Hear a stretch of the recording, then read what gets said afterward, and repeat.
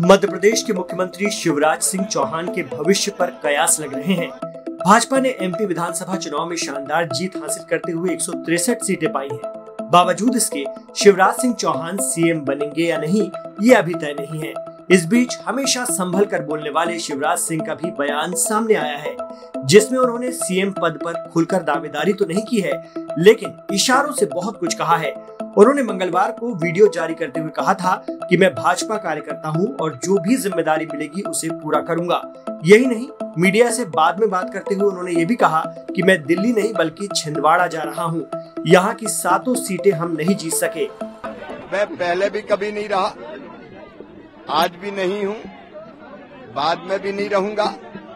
Bharatiya Janata party के कार्यकर्ता एक बड़े मिशन को पूरा करने के लिए काम करते हैं, किसी पद के लिए नहीं, और उस मिशन के माध्यम से जो काम मिलता है, उसको हम मेहनत, ईमानदारी से करते हैं। अब इससे ज़्यादा न्याय हो नहीं पाएगा मैं दिल्ली मैं दिल्ली नहीं जाऊँगा।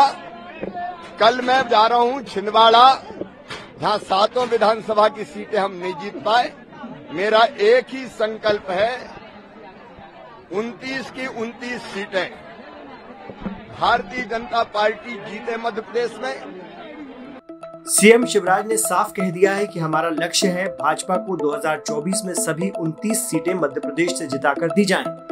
इस तरह शिवराज सिंह चौहान ये बताने की कोशिश कर रहे हैं कि वो अब भी एमपी के सबसे बड़े नेता हैं और वो बिना कोई मांग किए लोकसभा इलेक्शन में जुट गए हैं। शिवराज सिंह चौहान की ये स्मार्ट स्ट्रेटेजी मानी जा रही है, जिसमें उन्होंने खुलकर कुछ नहीं कहा और संकेतों में अपनी दावेदारी भी जता दी।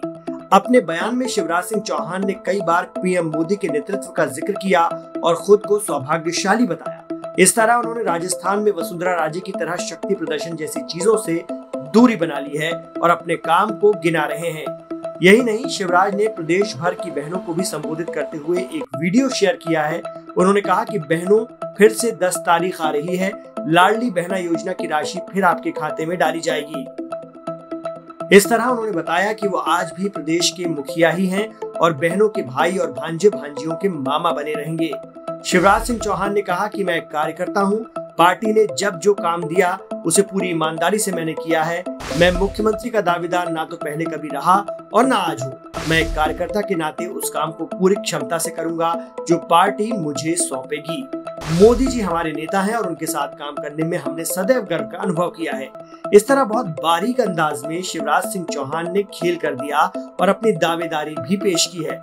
उनकी सरकार की लाडली बहना स्कीम को भी जीत की वजह माना जा रहा है। इसके अलावा मोदी की गारंटी भी एक फैक्टर है। ऐसे में शिवराज एक प्रबल दावेदार तो है ही, और उन्हें फिर से मौका मिल जाए तो कोई हैरानी नहीं होगी। और अगर एक बार फिर उन्हें मौका मिला तो वो पाँच साल तक नहीं हिलने वाले।